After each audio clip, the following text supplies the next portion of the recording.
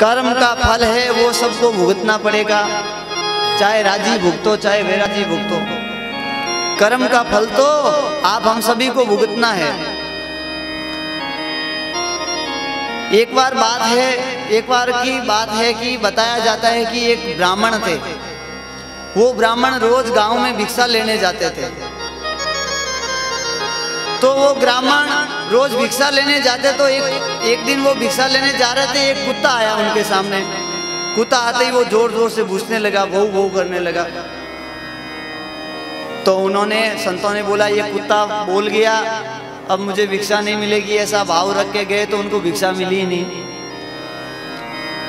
ऐसे ही भूखे रहना पड़ा उनको। और दूसरे दिन जब वो संत फिर भिक्षा लेने गए तो वही कुत्ता सामने आके भू भू करने लगा उनके सामने। तो उन ब्राह्मण देवता ने एक पत्थर उठाया और उस कुत्ते के सिर पे दे मारी दम और कुत्ते का सिर फट गया महाराज। ब्राह्मण भिक्षा लेने गया उस दिन भी ब्राह्मण को भिक्षा नहीं मिली। अब क्या हुआ? कुत्ता गया भगवान, लक्ष्मीपति नारायण के पास में, भगवान के दरबार में। और भगवान के दरबार में जाके खड़ा हो गया ओ लो लो, लुआन हो रहा, सिर फटा हुआ उनका।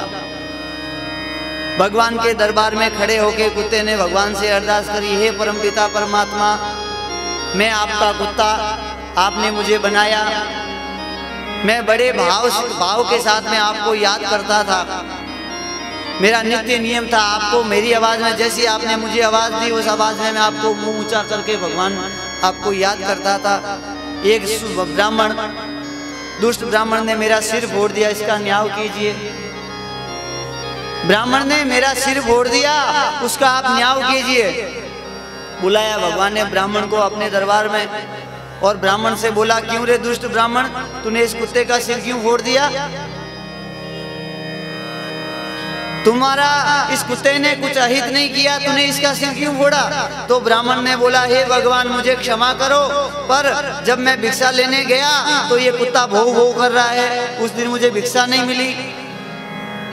तो भगवान ने, वो कुत्ता खड़ा था, कुत्ते ने बोला, जिस दिन तूने मेरा सिर फोड़ा, उस दिन तेरे को भिक्षा मिल गई थी क्या? उस दिन भी मुझे भिक्षा नहीं मिली।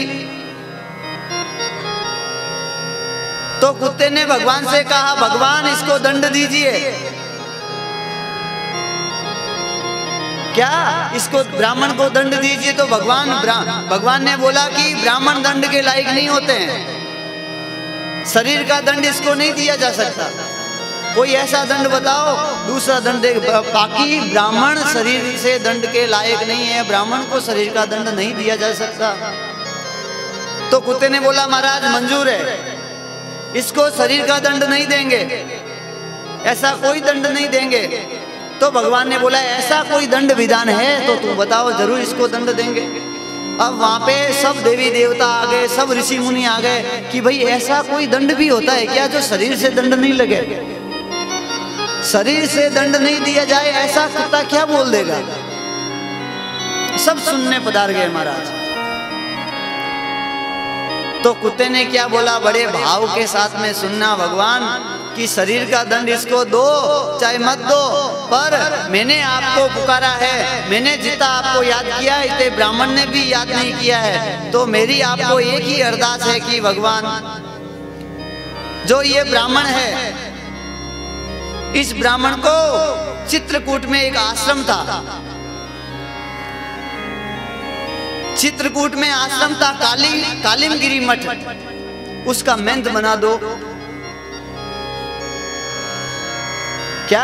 कालिमगिरी मठ का मेंत बना दो। कालिमगिरी मठ है जो बहुत बड़ा मठ है।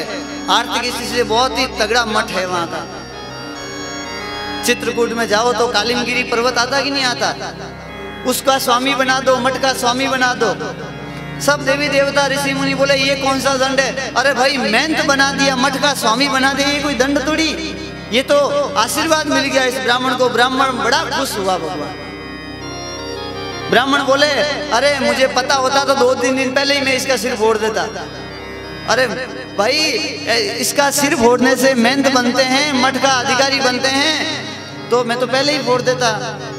आप ऐसा मत कर देना कभी कि कुत्तों का सिर फोड़ने से मेहनत बनते हैं तो एक दो का हम भी फोड़िया है। कल आते समय यहाँ का मेहनत बन जाए। तो भगवान, हुआ क्या? तो भगवान और देवताओं के बीच में संशय था कि, हे स्वानराज आपने जो इनको दंड दिया है, वो दंड कहाँ है? वो तो आपने आशीर्वाद दिया है कि दंड दिया है। तो कुत्ते ने बोला, महाराज, मैंने इसको दंड दिया है। दंड कैसे दिया? तो कुत्ते ने बड़ी अच्छी सुंदर बात बोली, भगवान, बड़े प्रेम से आप सुनना। कुत्ते ने बोला कि, महाराज, मैं भी एक कालिंजर का मेहंद था। पूर्व जन्म में मैं भी कालिंजरी मठ का मेहंद था। एक बार का समय था कि भगवान एक भक्त आया और इतना बड़ा घी लेके आया, घी घी का पात्र बोले कि, जोत करना और भगवान के चढ़ाना। तो उस घी को मैंने भगवान को चढ़ाया, भगवान को अर्पण कर दिया। पर मेरे नाखूनों में उस घी का कुछ लेस मात्र अंश रह गया था। और अंश रहने से फिर मैंने वो रोटी चूर के भोजन किया था, वही घी है जो मेरे भोजन में आ गया। और मैंने वो भगवान का दिया हुआ अंश भगवान के अर्पण करना चाहिए, वो मेरे पेट में चला गया। तो भगवान मुझे यहाँ कुत्ता बनना पड़ा। और सोचो, ये ब्राह्मण है जो कितना लालची है।